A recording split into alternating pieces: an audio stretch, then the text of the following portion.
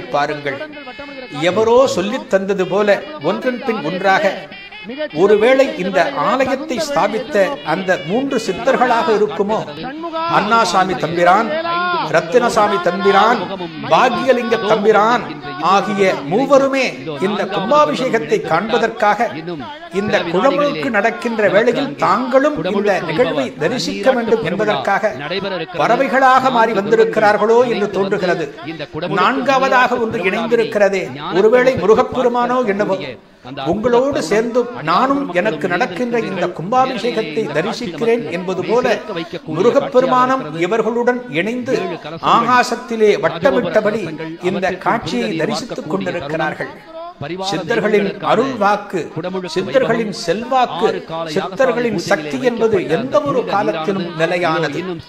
அந்த சித்தர்களின் ஆசி இந்த ஆலயத்திற்கு கிடைத்து விட்டது இதோ புனித நீர் கலசங்களை எடுத்து விட்டார்கள் அர்ச்சகர்கள். அந்த பூஜகர்கள் மந்திரங்களை சொல்லியபடி தாங்கள் இத்தனை நாள் நடத்திய இந்த யாகசாலையின் பலனை நாங்கள் பெற்றுவிட்டோம். கருடன் வாயிலாக மூன்று சித்தர்களும் ஆசி வழங்கி விட்டார்கள் இதோ முருகப்பெருமானும் வந்துவிட்டார் என்பது போல அந்த கொடியை அசைத்து கும்பாபிஷேகத்தை அனைத்து சந்நிதிகளுக்கும் நிகழ்த்தலாம் என்பது போல ஒரு குறிப்பை காட்டுகிறார்கள். கும்பாபிஷேகம் நடைபெற உள்ளது இதோ இந்த திருக்காட்சியை காணுங்கள்.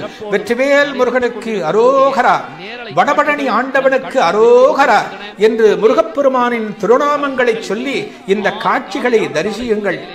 இதற்காகத்தானே இத்தனை நாட்கள் காத்திருந்தோம்.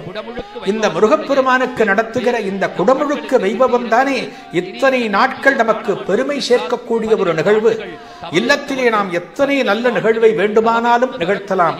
ஆனால் நாம் வசிக்கின்ற தேசத்தில் நாம் வசிக்கின்ற ஊரில் ஒரு ஆலயத்திற்கு நடக்கின்ற ஒரு நிகழ்வுதான் அந்த ஊருக்கே அந்த உலகுக்கே அந்த நகருக்கே பெருமை சேர்க்கக்கூடியது.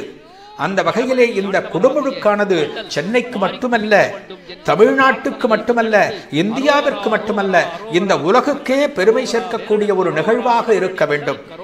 இந்த குடமுழுக்கின் காரணமாக உலகெங்கும் இருக்கக்கூடிய அச்சுறுத்தலானது முற்றிலும் அகல வேண்டும் முற்றிலும் ஒழிய வேண்டும். பக்தர்கள் அனைவரும் இந்த புனிதமான நேரத்தை எதிர்பார்த்து காத்திருந்தோம். நடந்து முடிந்துவிட்டது கும்பாபிஷேகம். புனித நீர் ஊற்றப்பட்ட கலசங்களுக்கு தற்போது அடுத்த கட்ட வழிபாடுகள் நடக்கின்றன. வஸ்திரங்களை சார்த்தி அந்த கலசங்களுக்கு மீண்டும் அர்ச்சனை நடத்தி சந்தனம் குங்குமம் சாத்தி தீபாரோதனை நிகழ்த்துவார்கள். அதன் பிறகே இந்த கலசங்களுக்கு உண்டான வழிபாடு பூர்த்தியானதாக அர்த்தம். இதோ இந்த கலசங்களை நன்றாக தரிசியுங்கள். உங்களால் ஆலய விமானத்தின் மேலே ஏற முடியாது. உங்களால் ராஜகோபுரத்தின் மேலே ஏற முடியாது. இந்த கலசங்களை கண்ணுறுகிற நேரம் இது. இந்த கலசங்களை காணுகிற நேரம் இது. இந்த கலசங்களை வழிபடுங்கள். இறைவனின் சாட்சியாக இறையாற்றலின் சக்தியாக ஒரு ஆலயத்திலே விளங்கப்படக்கூடியது எது என்று சொன்னால் அவையே கலசங்கள்.